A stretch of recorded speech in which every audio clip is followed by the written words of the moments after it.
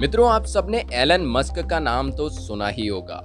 और क्या आप जानते हैं कि एलन मस्क के पास तीन देशों के पासपोर्ट हैं? इनका एक टाइम वो था जब इनके पास खाने के लिए पैसे भी नहीं थे। लेकिन आज इनके पास सब कुछ है। मित्रों, एलन मस्क की ज़िंदगी किसी सुपर हीरो से कम नहीं है, इसलिए उन्हें आयरन मैन भी कहा जाता है। टेक्नोलॉजी से उनका प्यार और कुछ नया करने का जुनून उन्हें दुनिया की नामी गिरामी हस्तियों से अलग खड़ा करता है। टेस्ला और स्पेस एक्स के सीईओ एमेजोन के फाउंडर जेफ बेजोस को पछाड़कर दुनिया के सबसे अमीर शख्स बन गए। हम बताने जा रहे हैं, एलन मस्क की ज़िंदगी से जुड़े कुछ ऐसी बातें, जिससे आपको ये पता चलेगा कि कैसे एलन मस्क फर्श अर्श की ऊंचाइयों तक पहुँचे। एलन मस्क कॉलेज के दिनों से हटी थे। जो ठान लिया, उसे करना है। फिर चाहे रास्ते में हज़ार मुश्किलें ही क्यों ना आए। ब्लूमबर्ग बिलीनियर्स इंडेक्स में, दुनिया के सबसे अमीर 500 लोगों की लिस्ट में, पहले पायदान पर पहुँचे एलन मस्क इतिहास रच चुके हैं। एलन मस्क की नेटवर्थ 2020 में 150 बिलियन डॉलर के पार चली गई थी।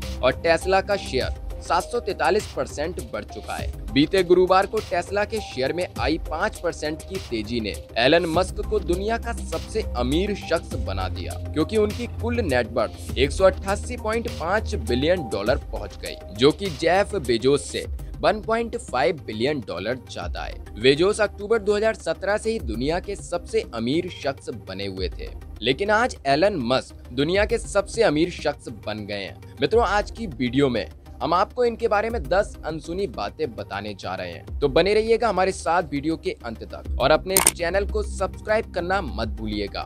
चलिए शुरू करते हैं आज की video. Number one, Elon Musk का जन्म 1971 में प्रिटोरिया, दक्षिण अफ्रीका में हुआ था। 17 साल की उम्र में वो कनाडा चले गए। उनके पास तीन देशों, दक्षिण अफ्रीका, कनाडा और अमेरिका की नागरिकता है।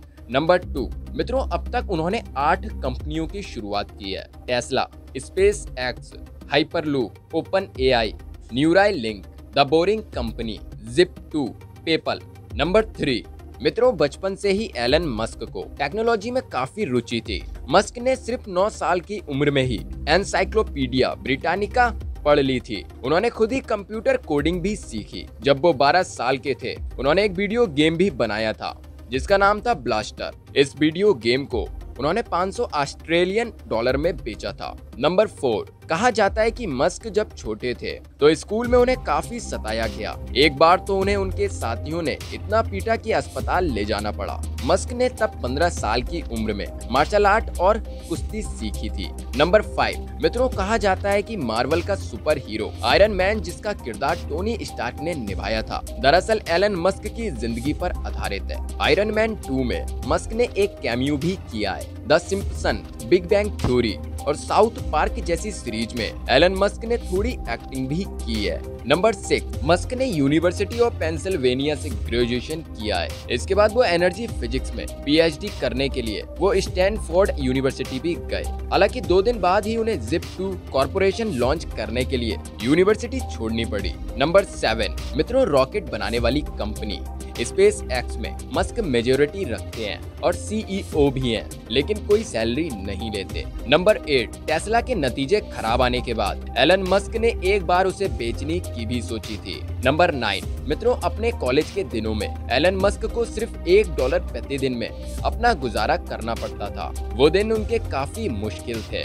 नंबर टेन मित्रों एलन मस्क की दो वाइफ हैं और उनके छह बच्चे हैं। साल 2020 में उन्होंने अपनी कैनेडियन गर्लफ्रेंड के साथ शादी की, जिससे उनका एक बेटा हुआ।